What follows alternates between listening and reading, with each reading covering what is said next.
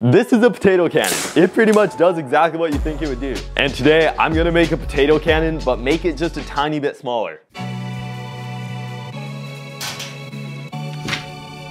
Potato cannons are actually a lot more simple than you might have thought. You have the chamber, the barrel, the ignition source, and like, yeah, that's pretty much a potato cannon. So the first thing I need to figure out is what the chamber is gonna be made of. I thought a piece of PVC pipe could be a pretty good option because you can just put an end cap on it, fill it with gunpowder, and you just, you, you just created a pipe bomb. A slightly better option I thought about is one of these small aluminum flashlights that you can buy literally anywhere. The flashlight is actually a really good option for the chamber, and you'll see why. This piece has threads that pops right out, and then if we take out the batteries, you can see there's a lot of room in here for the chamber. This is actually gonna work perfect for the chamber because we need a way to take the end cap off to get the fuel inside the chamber. Since there's already a hole in the cap, I think we're just gonna leave that and put the barrel in it. I'm gonna see if I can actually pull out this spring piece just with a pair of pliers, and then we won't need to actually cut it out. That came out really easy. Because this is actually a button, there's kind of like a spring mechanism inside, so I think we're just gonna start taking this apart and see what it's like.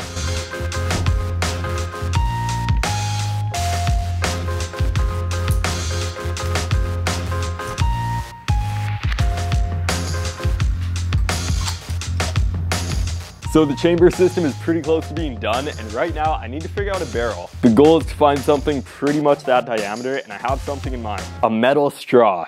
We do need to cut off the part that curves because we kind of want it to shoot straight. I'm not really a professional for like miniature potato cannons, but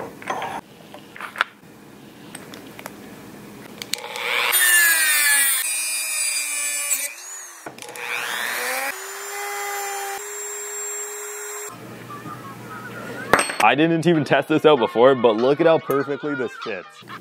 That is perfect. The piece of plastic with the hole in it is kind of thin, which also means it's not gonna be very strong. I think if we have the straw in here and we fill this piece with hot glue, I think that would be pretty solid.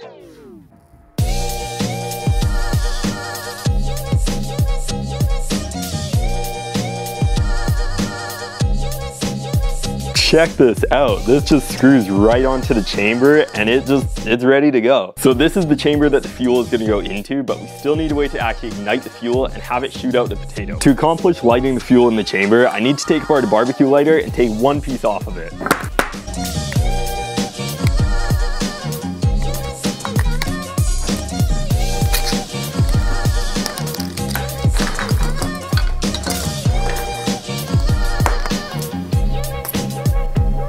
Out of these different pieces, this is the only thing I need. When I push this button, it's gonna create a spark between both of these wires.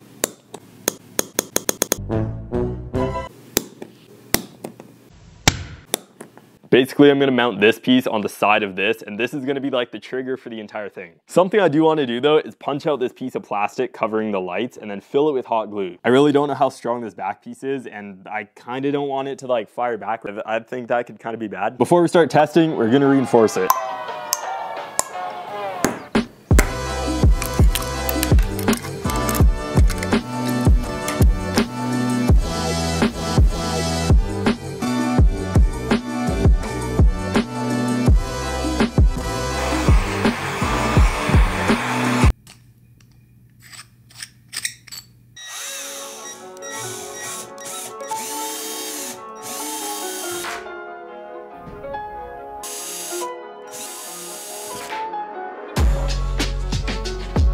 When you try and glue anything to metal using hot glue, it doesn't stay on super well, so I added a couple zip ties around the button just to make it hold on better.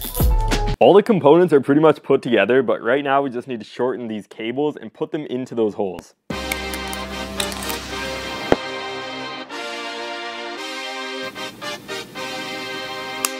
The wires now go inside of the chamber, so once we push the button, there's gonna be a spark inside.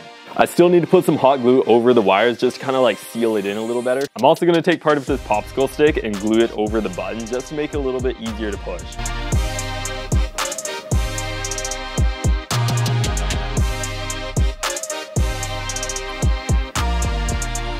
I honestly have no idea how powerful this is gonna be, but we're gonna find out right now. 99% rubbing alcohol should be a pretty good fuel source for the smallest potato cannon. For the first test, I'm actually not even gonna shoot anything, but I just wanna see how much like power I think this has. I'm just gonna dip my finger in some of the rubbing alcohol and put some on the inside because I kinda don't think we need that much. I'm gonna put this piece of popsicle stick here and see how much power it has. Testing the world's smallest potato cannon in three, two, one. Oh my goodness. This has so much more power than I was expecting. That is impressive. The potato cannon is pretty much complete, so we got it. World's smallest potato cannon is pretty much complete, but we gotta test it out correctly now.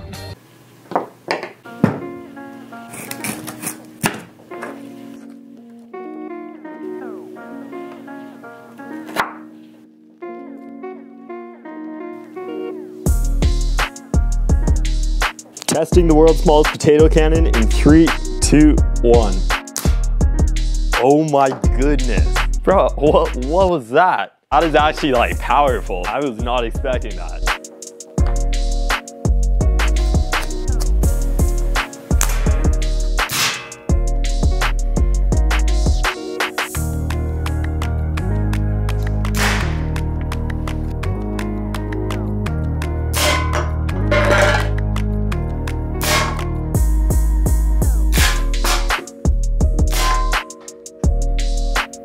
Think in order to properly test this, we got to do a long range test and see how far it actually shoots. It's only about two degrees outside, which is kind of cold for rubbing alcohol to burn, so I'm thinking this is probably gonna be a little bit underpowered. The road I'm standing on is about 100 feet long, so we should be able to see where the potato lands and also just be able to figure out how far it actually went. Let's give it a shot and see how far it goes. Long range test in three, two, one. That was actually not too bad. I saw it land somewhere around here, which is about 50 feet, so that's actually impressive. Three, two, one. That was actually kind of far. The wind kind of caught that one, so it kind of went to the side, but that actually landed like way over here. I'm not seeing the potato, probably because it's like the same color as everything else. Three, two, one. I'm gonna see where that landed. It looked about halfway, so that's pretty far. This road is 100 feet from where I shot it from, and this is a little over halfway, so I'm guessing this is probably about 60 feet. I found the piece of potato, and I'm a little surprised it's all in one piece.